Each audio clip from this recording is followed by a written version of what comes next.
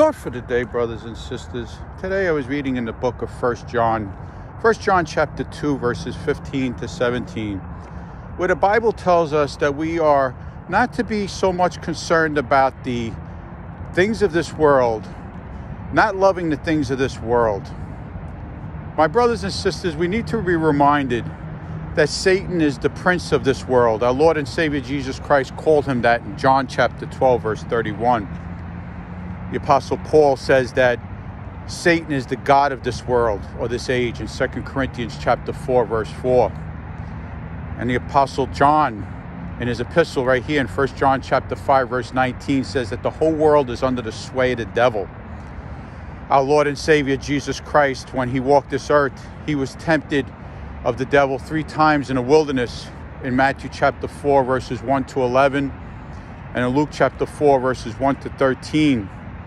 And in the third time, when Satan tempted Christ, he said, Bow down to me, worship me, and I will give you all the things of this world.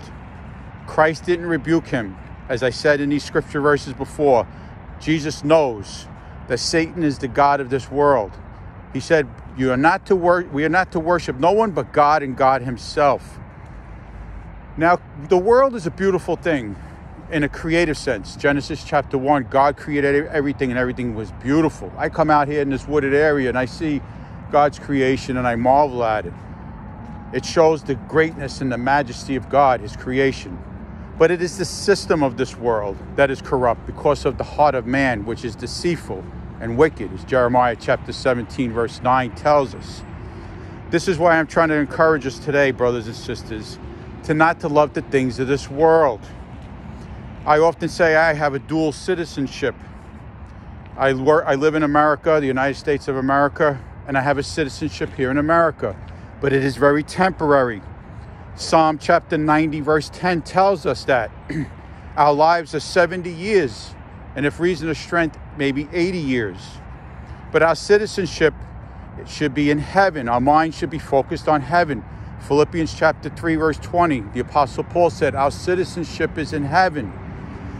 My friends, today, sadly, oftentimes we as Christians, and I'm including myself, we're so earthly minded that we are no heavenly good.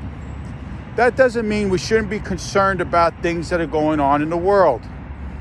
My youngest daughter was on a plane yesterday, two planes, for over 10 hours to get back to her college.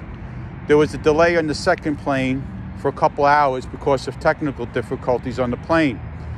She didn't land where she was going until 3 o'clock in the morning. I was concerned for her, obviously, as my daughter. I didn't get to sleep much last night. I got maybe three hours of sleep. But there's a difference between being concerned for your loved ones and worrying about the values and the things of this world. Today we have a lot of turmoil in uh, America because of political unrest.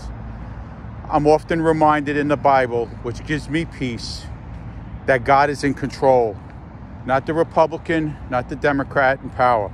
Proverbs chapter 21, verse 1 tells us the heart of the king is in the hand of God. He stirs it, God's hand, as he sees fit.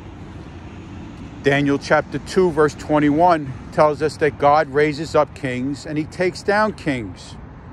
Our Lord and Savior Jesus Christ in Matthew chapter 28, as part of the Great Commission, verses 18 to 20, Christ says, All authority in heaven and earth has been given to me.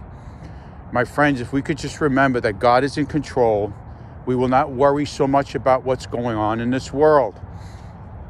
Is it a concern and grieving in a sense, what's going on in the world? Absolutely. There have been many godly men in the Bible that grieved over what was going on in their nation. Lot grieved over Sodom and Gomorrah. Jesus Christ, our Lord and Savior, wept over Jerusalem, what was going on in the day there.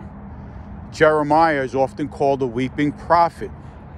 But if you read Jeremiah, especially verse chapter 23, verses 14 and 15, and chapter 28, verses 10 to 17, why was Jeremiah so grieved?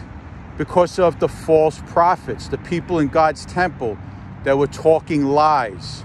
They were saying, Thus saith the Lord, when thus God does not say, Thus saith the Lord.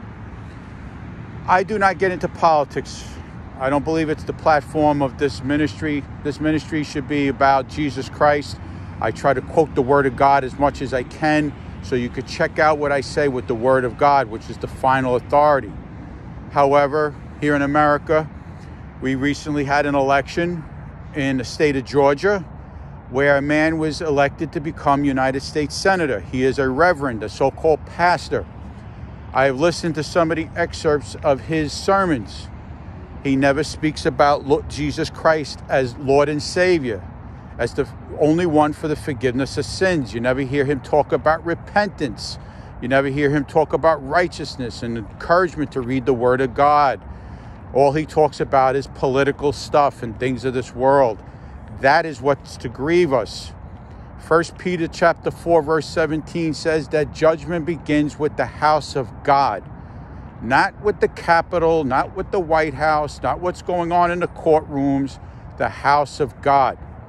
Our Lord and Savior Jesus Christ told us in the Gospel of Luke chapter 12 verses 47 and 48, to him much is given, much is required. We have a bigger responsibility as Christians we who represent Christ in this world, we who speak of God. That's why, as I get on these social media platforms, I try to quote the Bible as much as possible. Not to look at me, not to look at my political views or setting my mind on things of the values of this world, but on God and His Word.